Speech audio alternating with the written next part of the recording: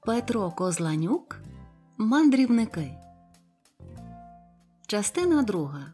Вусатий мандрівник.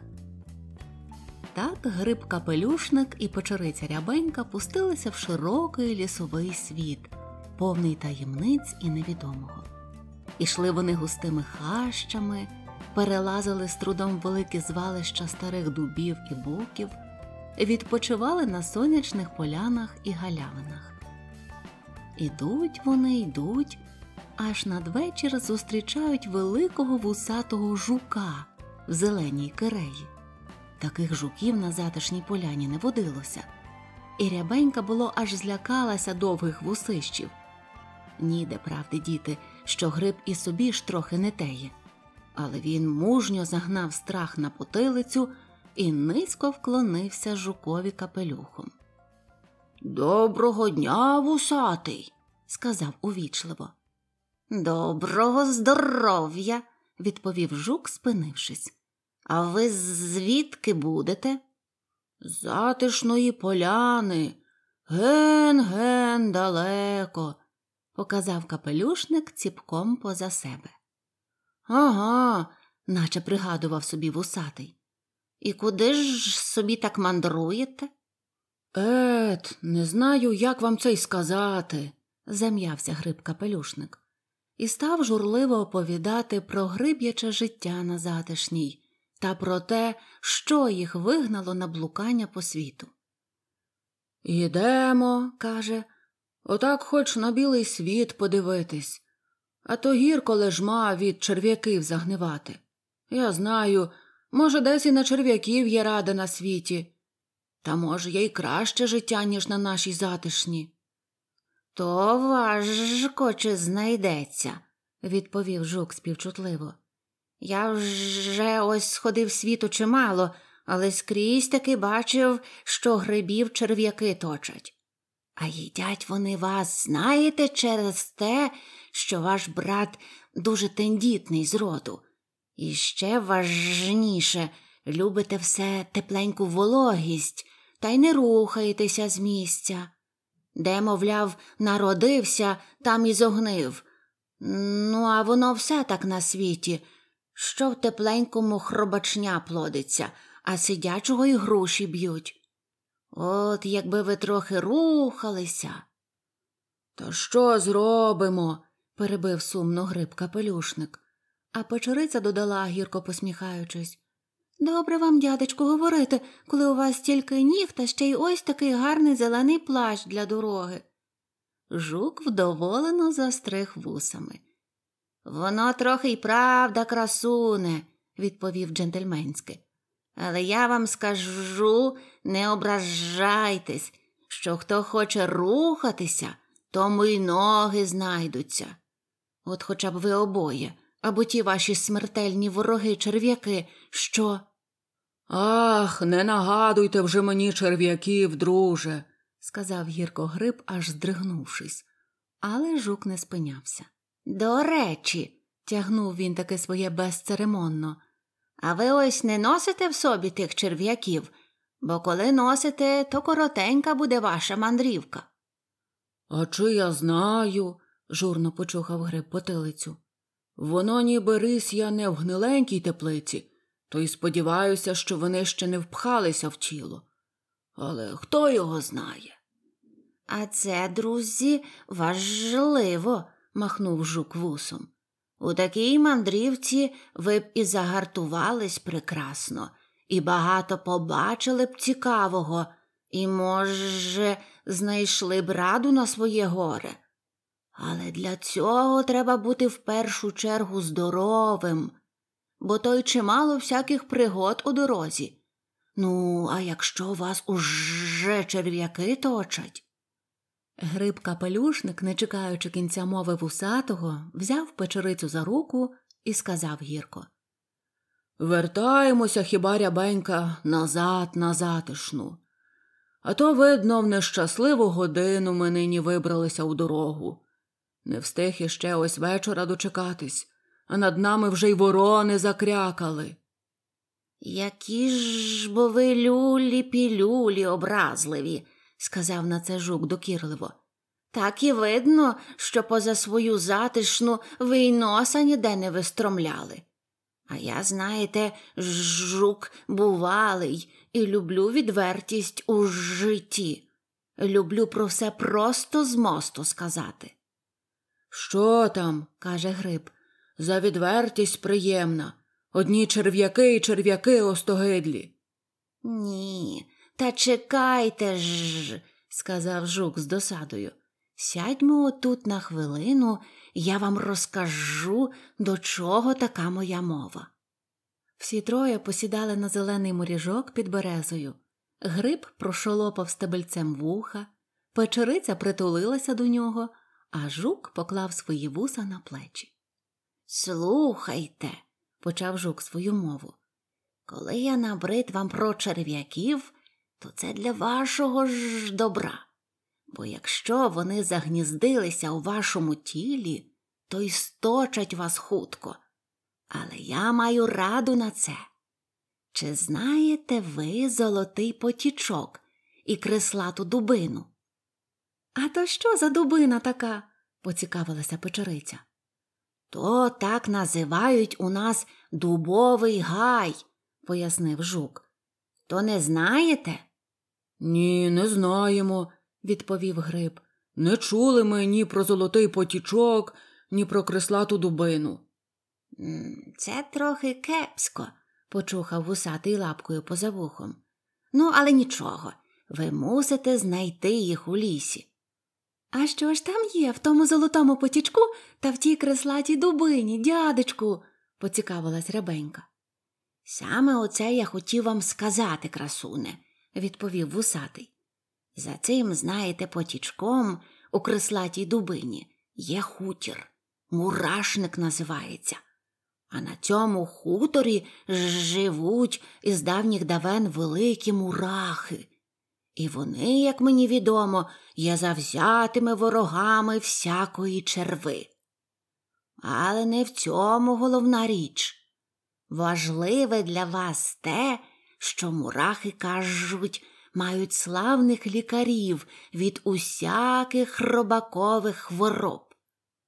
Оце так радісно, друже вусатий, перебив Гриб. Рябенька моргнула брівками до вусатого і защебетала.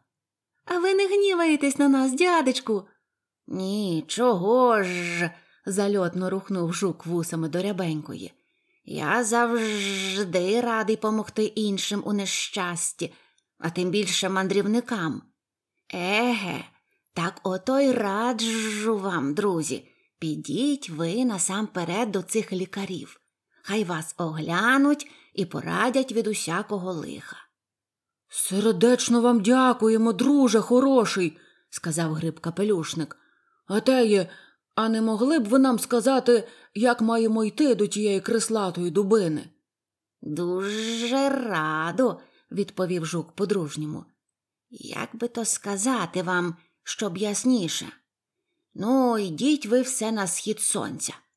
То перейдете зелену соснину, потім буде березовий гай, з гаю вийдете на сонячну царину, а за цариною ото золотий потічок та креслата дубина. Але сьогодні ви ще в дубину не зайдете. Зайдете аж, мабуть, завтра надвечір, коли добре візьмете ноги за пояс. Дуже дякуємо, ще раз подякував гриб капелюшник жукові. А тепер, любий наш приятелю, прощавайте. Бо кому, як то кажуть, в дорогу, тому й час. А, так, підняв жук довгі вусища з плечей. Всі повставали і попрощалися. Гриб і вусатий сердечно потиснули руки, а рябенька аж просльозилася, даючи свою руку зеленому мандрівникові. Ну, щасливої дороги, побажав жук на прощання. Щасливої вам, відповіли обоє. З цим і розійшлися. Зелений турист почимчукував собі далі, а гриб і печериця взяли путь на схід сонця. Слухайте, гукнув ще їм жук уже звіддалік. Забув вам сказати, що на царині та над потічком іноді люди ходять з кошиками. Отже, бережіться, а то небагато для вас приємності потрапити в кошик. Дякуємо, дякуємо за пересторогу. замахав гриб капелюхом, а печериця білою ручкою. І ще одне, друзі. гукнув жук, аж луна пішла лісом. Коли вже повертатимете здорові додому, я прошу вас у гості до себе. Чуєте? Думаю, що не погордуєте хлібом сіллю. Я ж живу в липовому дуплі, коло чистого озера. Направить вас туди кожний жук чи кузька, як спитаєте. Добре, добре, спасибі вам за запросини, подякував голосно гриб капелюшник. Зайдемо напевно. гукнула дзвінко і рябенька у складені долоньки. Частина третя. Вперед до щастя. Ніч захопила наших мандрівників уже в зеленій соснині. Гриб і печериця постановили було йти до пізнього вечора, але не так воно вийшло. В лісі миттю стемніло. Правда, вгорі на верховіттях мовчазних сосен червонів ще яскраво захід, але знизу вже звідусіль сунули присмерки. То, як сірі марці, що глухо зітхали і скрипіли зубами, то, мов довгі черв'яки, що повзли зловісно в траві поміж стовбури і плямкали ротами. Страшно було не тільки йти в присмерку, але й стояти. І рад, не рад мусили подорожні ночівлі швидко шукати. Щоб не трапити де-небудь у хробачню в чужій стороні, Гриб і печериця вирішили не ночувати в затишках, які аж просилися звідусіль теплом, а вибрали собі на ночівлю камінь над кручею. Тут і посідали та повечеряли з торб подорожніх, а потім поклали торби під голови і лягли на спочинок. Спати на камені було твердо, незручно, і печериця тільки та й робила, що всю ніч тулилася до гриба з холоду, а гриб накрився добре капелюхом і миттю захропів смачно на всю соснину. Як не як, ліг же він з певністю, що на камені черв'яки не шукатимуть поживи. На світанку обоє схопились. Помившись свіжою росою та поснідавши, чим було, гриб і печериця рушили далі в дорогу. Якраз зійшло сонце десь над гущавиною, і верховіття дерев зайнялись пишною червінню, що грайливо переплавлялася в золото. Низом висів сивий серпанок ранішнього туману, а всюди на траві і кущах блистіла роса. Пройшовши декілька гонів, гриб і печериця зустріли білку, що з підсвистом танцювала собі на галявинці. Помагай бі, балетнице. гукнув гриб зненацька. А тю. злякалась білка. Куди це ви тюпаєте так зранку? От ідемо, увічливо ухилився гриб від пояснень. Не знаєш ти часом, балетнице, де тут буде золотий потічок? Ні, не знаю, відповіла білка, але чула, що далеко звідсіля. І я туди не стрибаю, бо там кажуть пастухи з батогами. Ну, то вибачте за турботу, попрощався гриб хутко, і вони пішли далі. Ідуть вони, йдуть, перейшли вже березовий гай величенький, і незабаром повинна вже бути сонячна царина. А тут царинині сліду, навпаки, гриб і печериця забрели в якусь гущавину темну. І що далі йдуть вони цією гущавиною, то більше вона тягнеться в безконечність. Головонько, бідна, воно вже ясно, що заблудились обоє. Посідали охляло гриб з печерицею трошечки відпочити в гущавині, та й журяться мовчки.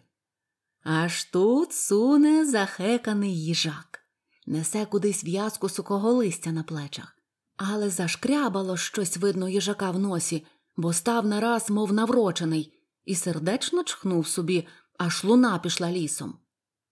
На здоров'ячко, дядьку. гукнув йому капелюшник. Замість відповіді їжак кинув мерщій в'язку на землю і хотів уже було згорнутися клубком. Але вмить спохватився, з ким має справу, і відповів з осміхом Спасибі, а то я перелякався вас аж смішно. Вибачте, сказав Гриб журно.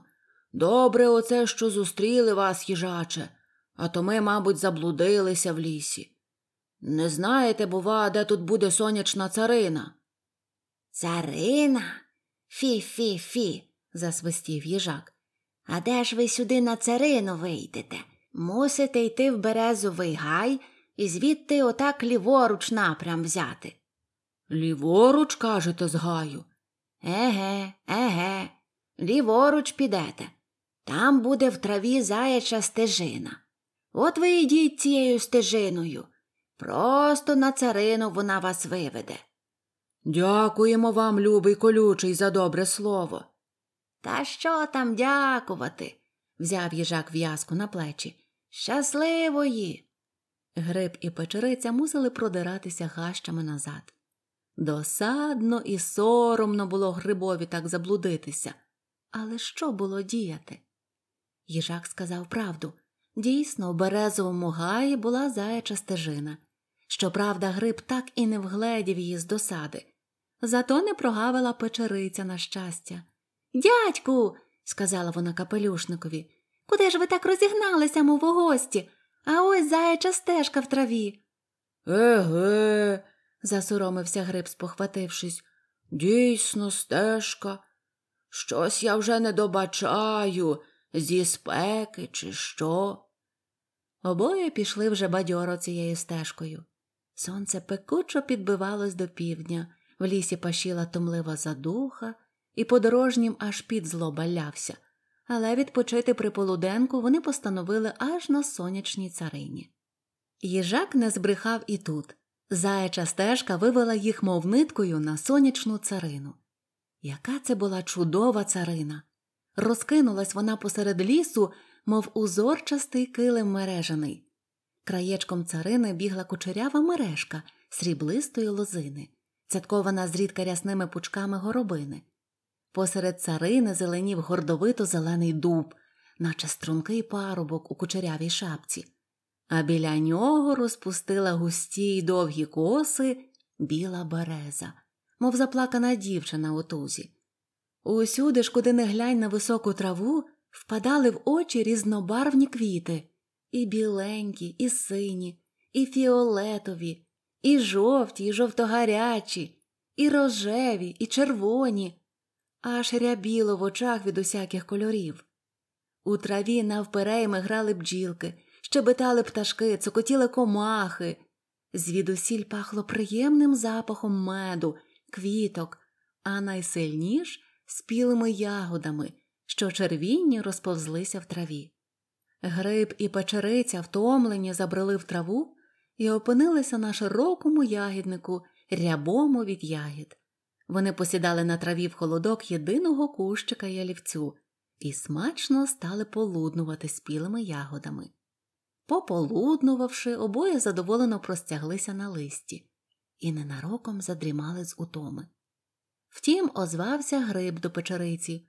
Слухай, рябенька, щось мені оце наче тошнить і скребе всередині. Тобі ні? Ні, відповіла сумливо печериця. Це, мабуть, дядько від солодких ягід млоїть вас. Хм, Боюся, щоб то не черв'як рябенька. Як ти гадаєш? Так якось, бачиш, скребе та свердлить тонко тонесенько. Але печериця вже засинала з утоми. Гриб капелюшник хникнув ще раз турботно, зітхнув та й собі ж простягнувся горілиць. За хвилину хропіли обоє смачним післяобіднім сном. Далі буде. Ставте свої вподобайки, підписуйтесь на канал Світ Казок і до зустрічі!